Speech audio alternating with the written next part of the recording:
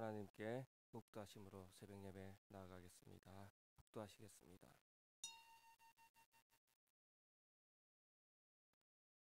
사랑하는 하나님, 하나님께서 이 땅 가운데에 그리스도 예수 그리스도를 우리가 마음의 소원으로 품고 기다리게 하시고 이 대림절 날 새벽을 깨워 하나님을 찾게 하시니 감사합니다.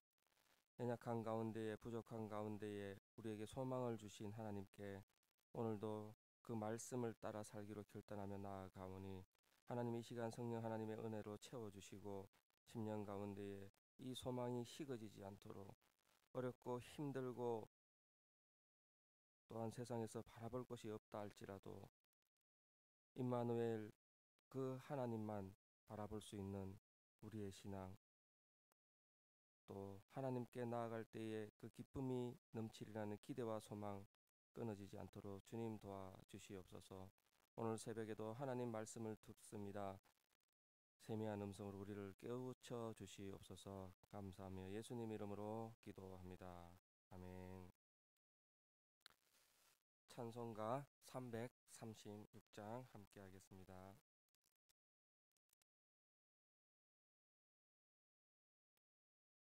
336장입니다.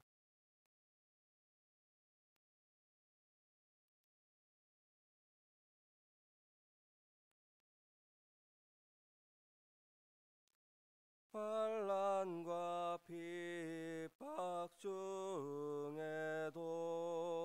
성도는 신앙 지켰네 이 신앙 생각할 때에 기쁨이 충만하도다. 성도의 신앙 따라서 죽도록 충성하겠네. 옥 중에 매인 성도나 양심은 자유 얻었네. 우리도 고난 받으며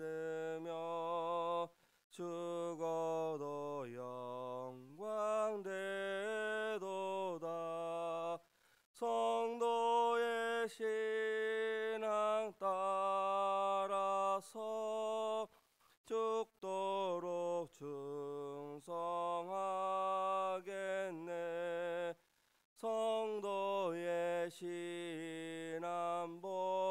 본받아 원수도 사하겠네. 언어 행실로 이 신앙 전파하리라 성도의 신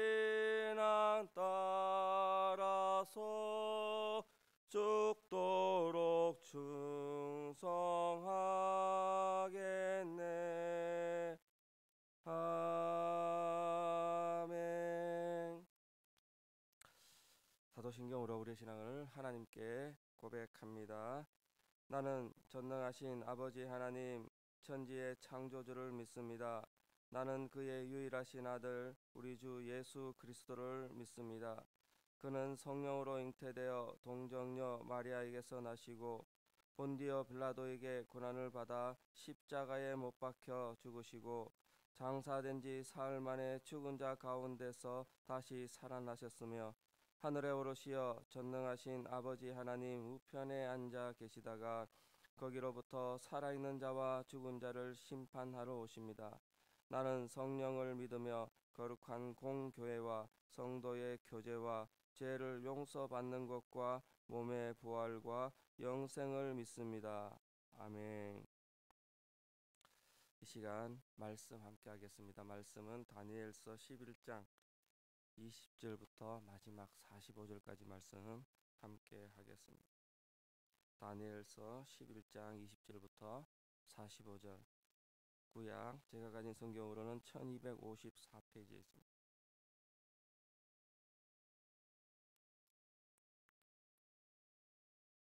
다니엘서 11장 20절부터 45절 우리 조금 길지만 한 목소리로 함께 하도록 하겠습니다.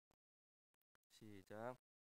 그 왕위를 이을 자가 압제자를 그 나라의 아름다운 곳으로 두루 다니게 할 것이나 그는 분노함이나 싸움이 없이 몇 날이 못되어 망할 것이요 또 그의 왕위를 이을 자는 한 비천한 사람이라 나라의 영광을 그에게 주지 아니할 것이나 그가 평안할 때에 타서 속임수로 그 나라를 얻을 것이며 넘치는 물 같은 군대가 그에게 넘침으로 말미암아 패할 것이요.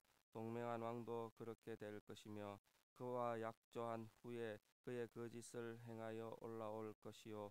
소수의 백성을 가지고 세력을 얻을 것이며 그가 평안한 때에 그 지방의 가장 기름진 곳에 들어와서 그의 조상들과 조상들의 조상이 행하지 못하던 것을 행할 것이요. 그는 노력하고 탈취한 재물을 무리에게 흩어주며 계략을 세워 얼마 동안 산성들을 칠 것인데 내가 이르기까지 그러하리라. 그가 그의 힘을 떨치며 용기를 다하여 큰 군대를 거느리고 남방 왕을 칠 것이요. 남방 왕도 힘이 크고 강한 군대를 거느리고 맞아 싸울 것이나 능히 당하지 못하리니 이는 그들이 계략을 세워 그를 침이니라 그의 음식을 먹는 자들이 그를 멸하리니 그의 군대가 흩어질 것이요 많은 사람이 엎드려져 죽으리라. 이 두 왕이 마음이 서로 해하고자 하여 한 밥상에 앉을 때에 거짓말을 할 것이라. 일이 형통하지 못하리니 이는 아직 때가 이르지 아니하므로 그 일이 이루어지지 아니할 것임이니라 국방왕은 많은 재물을 가지고 본국으로 돌아가리니 그의 마음으로 거룩한 그 언약을 거스르며 자기 마음대로 행하고 본토로 돌아갈 것이며 작정한 기한에 그가 다시 나와서 남방에 이를 것이나 이번이 그 전번보다 못하리니 이는 기띔의 배들이 이르러 그를 칠 것임이라 그가 낙심하고 돌아가면서 맺은 거룩한 언약에 분노하였고 자기 땅에 돌아가서는 맺은 거룩한 언약을 배반하는 자들을 살필 것이며 군대는 그의 편에 서서 성소 곧 견고한 곳을 더럽히며 매일 드리는 제사를 폐하며 멸망하게 하는 가정한 것을 세울 것이며 그가 또 언약을 배반하고 악행하는 자를 속임수로 타락시킬 것이나 오직 자기의 하나님을 아는 백성은 강하여 용맹을 떨치리라 백성 중에 지혜로운 자들이 많은 사람을 가르칠 것이나 그들이 칼날과 불꽃과 사로잡힘을 약탈당하여 여러 날 동안 몰락하리라. 그들이 몰락할 때에 조금을 도움을 조금 얻을 것이나 많은 사람들이 속임수로 그들과 결합할 것이며 또 그들 중에 지혜로운 몇 사람이 몰락하여 무리 중에 연단을 받아 정결을 하게 되며 희게 되어 마지막 때까지 이르리라, 이르게 하리니 이는 아직 정한 기한이 남았음이라. 그 왕은 자기 마음대로 행하며 스스로 높여 모든 신보다 크다 하며 비상한 말로 신들의 신을 대적하며 형통하기를 분노하심이 그칠 때까지 하리니 이는 그 작정된 일을 반드시 이룰 것임이라. 그가 모든 것보다 스스로 크다 하고 그의 조상들의 신들과 여자들이 흠모하는 것을 돌아보지 아니하며 어떤 신도 돌아보지 아니하고 그 대신에 강한 신을 공격할 것이요. 또 그의 조상들이 알지 못하던 신에게 금, 은, 보석과 보물을 들여 공경할 것이며 그는 이방 신을 힘입어 크게 견고한 산성들을 점령할 것이요. 무릇 그를 안다 하는 자에게는 영광을 더하여 여러 백성을 다스리게 하며 그에게서 뇌물을 받고 땅을 나눠 주기도 하리라. 마지막 때에 남방왕이 그와 힘을 겨룰 것이나 북방왕이 병거와 마병과 많은 배로 회오리 바람처럼 그에게로 마주 와서 그 여러 나라에 침공하여 물이 넘친 같이 지나갈 것이요. 그가 또 영화로운 땅에 들어갈 것이요. 많은 나라를 패망하게 할 것이나 오직 에돔과 모압과 암몬 자손의 지도자들은 그의 손에서 벗어나리라 그가 여러 나라에 그의 손을 펴리니 애굽 땅도 면하지 못할 것이니 그의 권세로 애굽의 금 은과 모든 보스 보물을 차지할 것이요. 리베아 사람과 구스 사람이 그의 시종이 되리라. 그러나 동북으로부터 소문이 이르러 그는 그를 번민하게 하므로 그가 분노하여 나가서 많은 무리를 다 죽이며 멸망시키고자 할 것이요 그가 장막 궁전을 바다와 영화롭고 거룩한 산 사이에 세울 것이나 그의 종말이 이르리니 도와줄 자가 없으리라 아멘. 오늘 긴 말씀 우리가 함께 할 텐데 다니엘서는 1장부터 6장까지 그리고 그가 겪었던 일을 또 역사적인 사실들을 말하고 있습니다. 7장부터 마지막 12장까지는 하나님께서 다니엘에게 주셨던 꿈의 계시, 묵시로 다니엘은 받아서 기록을 하고 있습니다. 다니엘의 환상과 묵시는 다른 예언서와는 확연하게 다르고 확연하게 그 내용 또한 또 보여주는 것이 다르고 있습니다. 다니엘이 받은 묵시는 특별히 중간기라고 불려지는 신학적으로 중간기라고 불려지는 예수님 탄생 이전 약 한 400년, 450년에 관한 내용을 묵시하고 있습니다. 이 시간에 하나님의 말씀은 사라지고 하나님의 말씀을 대응하던 예언자의 모습도 사라져 이스라엘 백성들은 암흑 가운데 살았다고 해서 어둠의 시간, 암흑의 시간이라고 불려지고 있습니다. 말라기가 끝나고 마태복음에 이를 때까지 그 400년, 450년 동안 하나님이 어디 계시냐? 우리가 찾는 하나님이 어디 계시냐? 우리를 버렸다. 우리는 하나님의 백성이 아니라 저주받은 백성이다. 라고 표현할 정도로 하나님에 대한 원망 또는 하나님에 대한 갈급함이 이렇게 나누어져 있었던 시대였습니다. 이 시대에 하나님의 백성 유다 사람에게는 또한 큰 소망을 가지고 소망 가운데 하나님을 부르짖었을 때에 그 나타나는 역사를 경험하고 이제는 더 큰 역사, 더 큰 하나님의 계획하심, 더 큰 하나님의 그 섭리하심을 기대하는 그 시간이었는데 시간이 지나면 지날수록 이제는 그 기대가 실망감으로 그 기대가 이제는 자포자기하는 심령으로 변하게 됩니다. 70년 포로 생활이 끝나면 영광이 회복될 것이다. 70년 포로 생활이 되면 이전보다 더 큰 하나님의 계획, 이제는 신성 국가, 하나님이 직접 다스리는 나라가 될 것이다. 이렇게 생각하며 고향으로 돌아왔습니다. 다니엘을 비롯한 백성들은 신뢰하는 마음으로 기대했습니다. 고레스 왕이 칙령을 내리고 이제 예루살렘으로 돌아가 성전을 짓고 그때에 그 땅 가운데에 원래 살던 대로 살아가라라고 말하였습니다. 그러나 이제 현실은 그렇지 않습니다. 겨우 성벽을 세우고 겨우 성전을 세우고 살아가고 터를 잡고 있지만 아직은 겨우 강제로 땅만 옮겨졌을 뿐 거주의 자유를 얻었을 뿐 여전히 그들은 식민지의 백성이었고 그들이 여전히 압제하는 그 당하는 상태에 있었습니다. 그들은 바르시아, 아, 페르시아 바사 제국의 그런 통치에 총독이 파견해서 그들을 다스렸고 또한 피지배국으로 여러 가지 공물을 바치면서 여러 가지 상황 가운데에 그들의 통치를 받아내며 살아가고 있었습니다. 이제 겨우 희망이 보이는 것 같았는데 끝은 없어 아직도 깜깜한 세상이 되었다는 것입니다. 이때에 다니엘의 묵시가 11장 4절에 이렇게 이야기합니다. 장차 한 능력 있는 왕이 일어나서 큰 권세로 다스리며 자기 마음대로 행하리니 그가 장성할 때에 그 나라가 갈라져 천하 사방에 나누어질 것이나 그의 자손으로 돌아가지 아니할 것이며 이제 큰 왕이 일어납니다. 그런에도 불구하고 하나님의 계획하심이 있음에도 불구하고 아직까지 마음대로 할 수 없는 상황이 되었습니다. 이 왕은 알렉산더 대왕을 의미하고 페르시아의 멸망까지도 이야기하고 있습니다. 이제 알렉산더 대왕은 33살의 젊은 나이로 세상을 떠나게 되고 이후에 여러 나라가 나뉘어져 내 왕국으로 나뉘어져 그 중에 힘 있는 나라 포톨레미 왕국과 셀루, 셀루코스 왕국 이 두 왕국으로 크게 나누어져 남방왕, 북방왕 이야기를 오늘 말씀하고 있습니다. 이 전쟁이 얼마나 중요한 전쟁이냐 이것을 통해서 메시아 예수 그리스도 복음의 세계가 명확하게 펼쳐진다는 것입니다.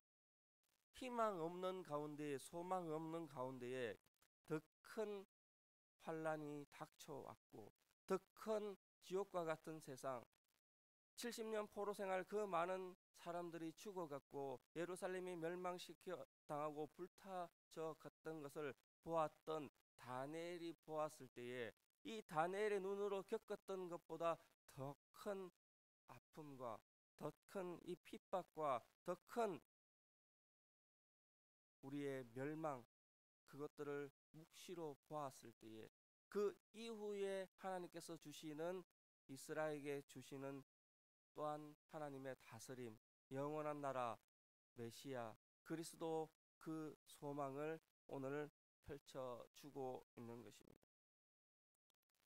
포로 생활하면서도 신실하게 살아가는 하나님의 백성은 하나님께서 열방의 왕들보다 더 능력이 있고 종말의 위대하고 강력한 승리를 허락하시고 이제 자신들을 구원할 통치자의 소망 그것을 주기 시작한다는 것입니다. 어두울 때에 가장 어두울 때에 새벽을 기대한다는 그런 말도 있습니다. 이스라엘 민족에게 이 가장 어려운 시대에 지금보다 더 어려운 시대가 있을 것이고 그때도 하나님께서는 역사하시고 그때도 하나님은 정한 때를 만들어 가시고 그때에 우리에게 소망을 주신다. 그 말씀이 다니엘의 계시 오늘의 말씀에 있다는 것입니다. 사랑하는 성도 여러분, 오늘의 말씀 제목을 이렇게 보고자 합니다. 오늘 말씀 가운데 그 정한 때라는 말이 나오고 있습니다. 그 정한 때. 그것이 오늘 말씀의 제목으로 삼고자 합니다. 예수님께서 오시기 전 190년 전 주전 로마의 이 전쟁에 패하는 이 북방 왕과 안티오코스 3세 왕위를 잇고 그 후임의 왕이 오르는 셀리우코스 4세 필로파테르 그 왕에 대해서 오늘 말씀하고 있는데 로마에 물어야 할 로마가 강성해지고 로마에 물어야 할 그 배상금 전쟁 배상금이 약 한 천 달란트가 되었다고 합니다. 이때에 세금 징수원을 여러 지방으로 보냈는데 특별히 예루살렘의 성전에 이렇게 큰 소문이 있습니다. 예루살렘 성전에 가면 금과 은으로 된 그릇이 있고 그 집기들이 반짝반짝거리며 그 사방 그 섬기는 장소에 그 놋들이 귀한 보물들이 가득 차 있으니 그 성전에서 배상금을 가져오면 되겠다. 이렇게 해서 예레미야 시대 이후에 세워진 다시 세워진 성전에 그것을 가지러 세금 징수원이 가게 됩니다. 그러면 그 성전에 들어갔을 때에 황금 갑옷을 입은 환상을 보고 쓰러지면서 오히려 성전에 제사를 드리고 본국으로 돌아가게 됩니다. 그리고는 그 전쟁 배상금을 가져오지 못했기 때문에 그를 보낸 북방왕 셀리오코스 4세를 독살하게 됩니다. 그 말씀이 오늘 말씀에 기록이 되고 있습니다. 21절에 이렇게 이야기합니다. 또 그 왕위를 이을 자는 한 비천한 사람이라 나라의 영광을 그에게 주지 아니할 것이냐 그가 평안할 때를 타서 속임수로 그 나라를 얻을 것이며 이렇게 속임수로 나라를 얻게 되는 이야기를 하고 있습니다. 한 비천왕 출신의 북방 왕의 왕위에 오르는 과정 그 이야기를 하고 있습니다. 셀리오코스 4세의 합법적인 왕위의 계승자는 그의 아들이었지만 그 속에는 로마 가족의 인질로 잡혀 있었기에 이제는 그의 삼촌이 왕위에 오르게 됩니다. 이 왕위에 오른 삼촌 안티오쿠스 4세 가장 성경에서 유명한 이 시대의 유명한 왕이 됩니다. 에피파네스 스스로 신이라 일컬어지고 스스로 신의 위치에 올라갔던 에피파네스 왕이 될 것입니다. 이렇게 왕위에 오른 조카의 왕위를 찬탈하게 된 에피파네스는 그 다스림의 그 정당성을 얻기 위해 이제 남방 왕국을 공격하게 됩니다. 이 북방왕에 대하여 왕방왕도 전쟁을 준비합니다.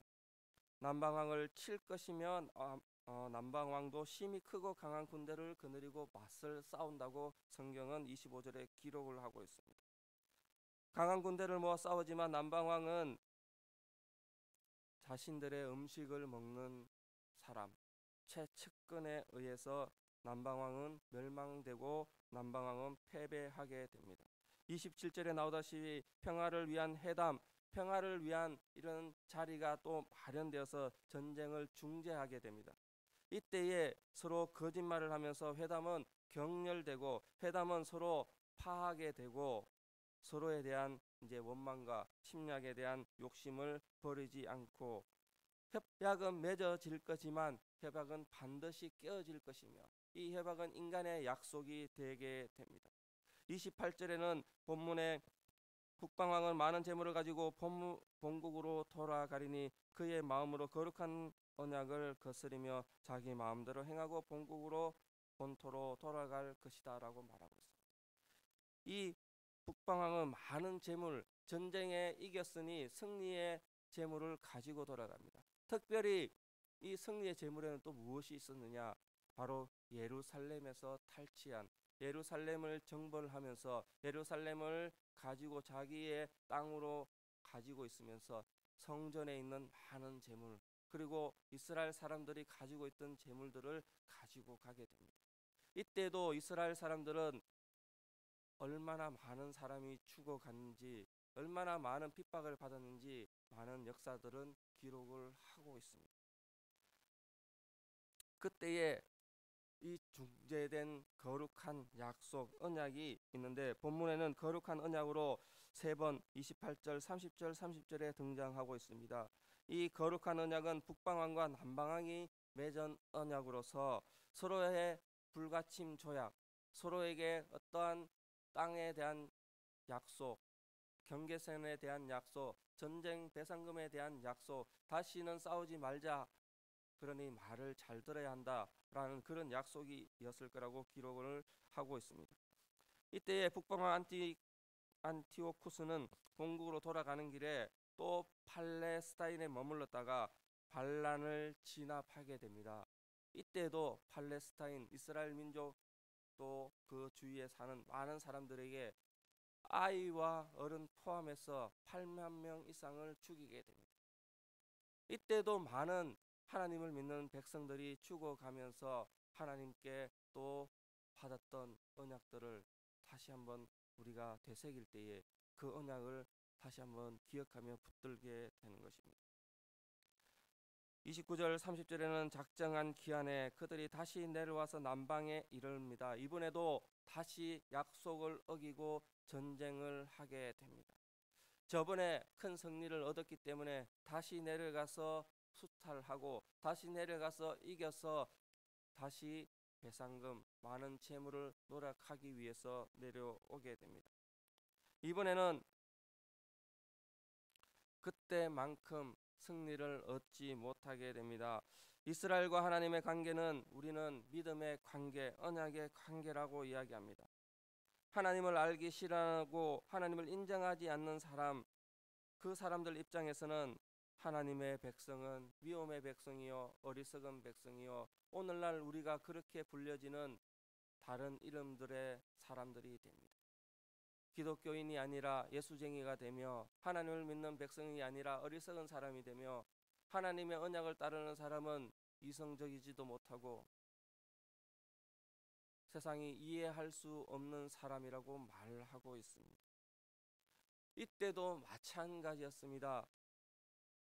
많은 병사들을 많은 군사들을 데리고 와서 예수, 예루살렘을 점령합니다. 예루살렘의 신 하나님을 섬기는 그 자리에 들어가 성전에서 이상하고 또 다른 제사를 드리게 하게 됩니다. 하나님을 믿지 않는 사람들을 괴롭게 할 뿐만 아니라 어떻게든 하나님을 믿지 않는 사람들 가운데에 배신자를 만들기 위하여 핍박하게 됩니다. 그리고 유혹하게 됩니다. 북방왕은 거룩한 언약에 분노하면서 이 거룩한 언약을 배반하는 자를 중히 여기는 그 일들을 하게 됩니다. 하나님을 대적하는 북방왕의 마음은 이내 자신의 마음대로 행하게 됩니다.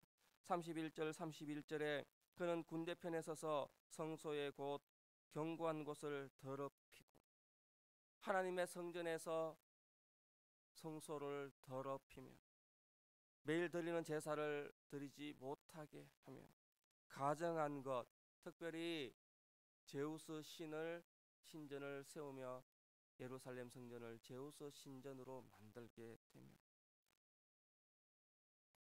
또 그리고 언약을 배반하는 사람, 하나님과의 약속을 배반하는 사람을 속임수로 타락시키고 그 가운데 돼지의 피를 뿌리며 하나님의 성전을 오염시키게 됩니다. 이때에 오직 자기 하나님을 아는 백성은 강하여 용맹을 떨치리라. 하나님께서 세우시고 하나님께서 만들어 가신 일들이 일어나게 됩니다. 성소를 더럽히고 제사를 예배를 피하며 멸망시키는 가정한 것은 오늘날에도 많이 이야기되고 있습니다. 성경의 외전이라고 불려지는 마카오베스에 보면 이 단순하게 식민지를 단호하게 심판하고 점령하는 것이 아니라 유대인들의 신앙 자체를 하나님을 믿는 것은 바로 반란하는 것이다. 하나님을 믿고 언약을 지키는 것은 나와의 약속을 지키지 않는 것이다. 이렇게 해서 모두를 멸하려고 생각하게 됩니다. 우리가 일제에 그런 핍박 가운데 있었던 일이 있습니다.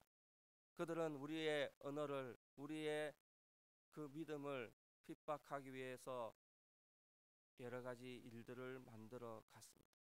이때도 마찬가지였습니다. 하나님을 섬기는 일을 하지 못하기 위해 성전을 피로 더럽히고 성전에 가는 사람들을 핍박하고 믿음을 가진 사람들을 죽이고 그 믿음을 표현하지 못하게 합니다.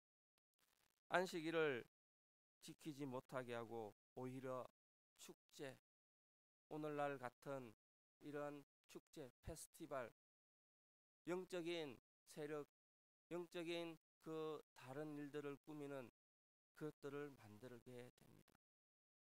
오늘날 이 페스티벌, 카니발 같은 단어들은 바로 귀신을 나에게로 초대하는 귀신을 섬기는 그리고 축제하는 즐기는 그런 날이 바로 페스티벌 또 카니발 같은 그런 일들이었습니다. 그런 일들이 성전에서 이 교회에서 구틀 한다고 생각하시면 될 것입니다.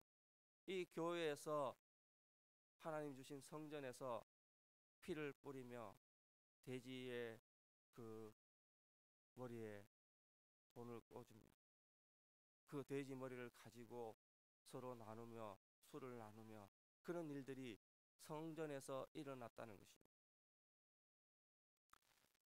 이렇게 거룩한 언약을 배반하며 악행하는 자들이 있는가 하면 이제 32절 마지막 절과 33절에 보면 하나님의 백성, 하나님을 아는 사람, 하나님을 자기의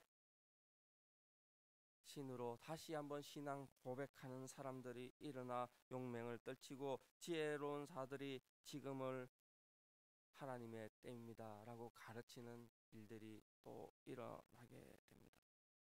우리는 지금도 그러한 세대를 살아감을 기억해야 합니다. 오늘은 어떤 사람입니까? 오늘은 어떤 시대입니까? 하나님의 백성이 핍박받고 예수 그리스도의 복음을 위하여 사는 그리스도인이 세상에서 왕따가 되고 세상에서 존귀하게 여김을 받지 못하고 오히려 이 어려운 세상 가운데 우리는 핍박자의 삶, 여전히 우리는 바로 자유가 없는 삶.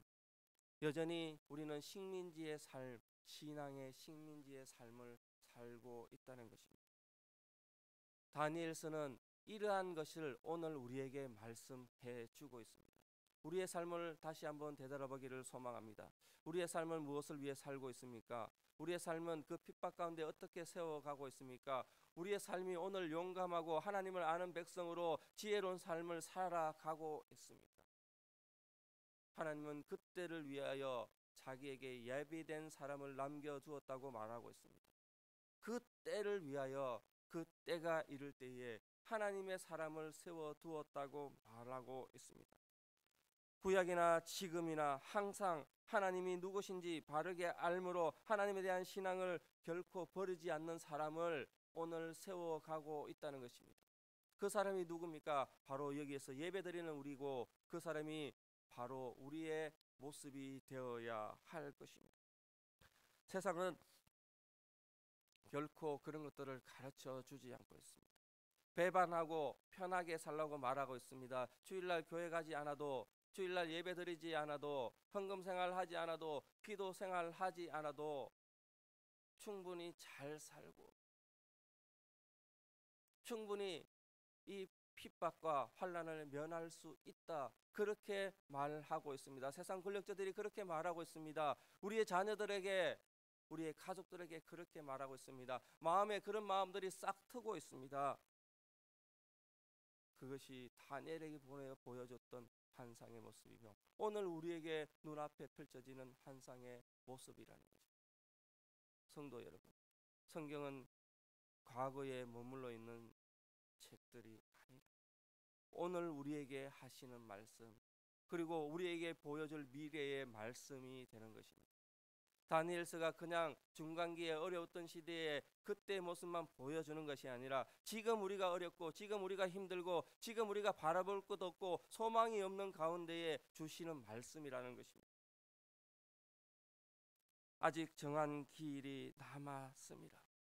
아직 정한 때는 오지 않았습니다. 아직 정한 때는 우리에게도 오지 않았습니다. 그때를 기다리는 마음이 오늘 소망을 가지고 임마누엘 하나님 지금도 역사하시는 하나님을 기다리는 세련점에 가져야 할 우리의 신앙이 될 것입니다. 일부는 신앙을 버리고 타락하게 될 것입니다. 핍박과 절망 가운데 포기하게 될 것입니다. 그러나 도리어 이때에 연단하게 되고 정결하게 되고 하나님을 더 찾아가고 용맹스럽고 지혜롭게 되는 역사가 일어나게 될 것을 오늘도 기대합니다. 세상 사람들은 모두가 살아가는 모습을 보면 풍조를 쫓고 넓은 문과 넓은 길로 가고 그리스도인의 모습이 사라지고 있습니다. 그럼에도 불구하고 오늘 오신 예수님, 장차 오실 예수님, 그제도 계셨고 지금도 계시고 앞으로도 계실 그 하나님을 기대하며 시련 속에서 하나님을 때를 믿고 정한 기한 그 때를 살아가는 성도가 바로 우리가 되는 것입니다. 그것이 하나님을 아는 지혜로운 사람입니다. 35절 마지막에 아직 정한 길이 남았습니다라고 기록하고 있습니다. 역사 속의 성취는 하나님께서 그때를 기다리며 만들어 가고 있다는 것입니다. 그리고는 북방왕이 멸망하고 남방왕이 멸망하고 다른 세상의 것은 다 사라집니다. 그러나 정한 때에 예수님은 다시 오셨고 정한 때에 예수 그리스도의 사역은 시작되었고 정한 때에 예수님께서 우리를 위하여 죽으셨고 정한 때에 예수님께서 다시 살아나셨고 죽음 가운데 승리를 선포하셨고 삶 가운데에 회복의 꿈을 꾸게 하셨다는 것입니다. 우리는 무엇을 기다립니까? 그저 내일 모레 조금 더 나아질 것이요. 기대하면 고대하면 그저 생활이 조금 나아질 1차원적인 신앙에 머물러 있지 않습니다. 오늘도 종말을 살아가시기를 소망합니다. 정한 때를 기다리며 살아가시기를 소망합니다. 하나님께서 그 정한 때를 분명히 우리에게 주셨습니다. 약속하셨습니다. 이미 보여주셨고 오늘 말씀처럼 저 정한 때의 역사가 기록이 되어 있다. 우리에게 소망을 품고 살아가시기를 축복합니다. 예수 그리스도를 보내주신 소망 중에 기다리는 임마누엘 임마누엘 하나님 지금도 우리와 함께 하시는 하나님이 소망을 주셨고 정한 때에 우리에게 더 큰 소망의 역사 이루어지는 역사를 말씀하고 있다는 것입니다. 스스로 크다고 여겼던 이 북방왕은 멸망하게 되고 금과 은만 가지고 살아갔던 이 악한 세력들은 결국은 없어지게 되고 하나님의 계시 말씀만이 남아 있고 하나님이 스스로 지혜롭게 한 그들을 지혜롭다 한 그들을 멸망시키는 역사가 오늘도 기록이 되어 있습니다. 하나님은 반드시 역사하십니다. 다니엘에게 우리에게 말씀하셨고 오늘 신약과 요한계시록을 통하여도 우리에게도 말씀하셨습니다.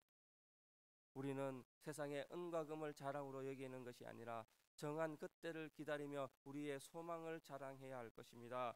정한 그때를 기다리며 우리의 소망 가운데에 우리에게 주시는 하나님의 은혜를 자랑해야 할 것입니다.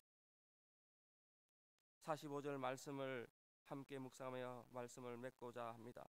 그가 장막 궁전을 바다와 영화롭 고 거룩한 산 사이에 세울 것이나 그의 종말을 이르리니 도와줄 자가 없으리라. 그는 스스로 높아져서 스스로 잘나서 아무것도 세울 수 없는 그 사막 한가운데 큰 궁전을 세울 만큼 큰 건물을 세우고 자신의 업적을 드러낼 만큼 위대하였다 할지라도 한여름 밤에 풀같이 시들어버리고 꽃같이 없어져 그의 종말이 이르렀고 하나님의 때가 이르렀을 때는 아무도 도와줄 자가 없다라고 말하고 있습니다. 세상에서 세상에서 기대하며 내세우는 것들이 하나님 앞에는 하나님의 역사 앞에는 하나님의 다스림 앞에는 아무것도 없는 보잘것없는 어떤 도움도 받을 수 없는 것으로 되어 버린다고 말씀하고 있습니다. 오늘은 포로 생활을 살아가는 우리에게 하시는 말씀입니다. 이스라엘의 다행이스의 왕위가 다시 세워질 것이라고 기대하였지만 그것이 이루어지지 못하고 400년, 450년이 흘러갔습니다. 오늘 우리에게도 여전히 이러한 이야기들을 합니다. 우리는 기대할 것 없고 세상에 방황하는 순례자로 살아가고 있습니다. 앞길은 여전히 사막이요 물이 없고 돌아볼 수 없는 동행자도 없습니다. 그러나 묵묵히 그 길을 갈 때에 정한 그때를 기다리며 갈 때에 하나님께서는 우리에게 참된 안식을 선물하고 우리의 처소를 예비하시고 가장 낮은 십자가에 죽으시고 부활하신 예수 그리스도의 영광만 드러나게 하실 것입니다.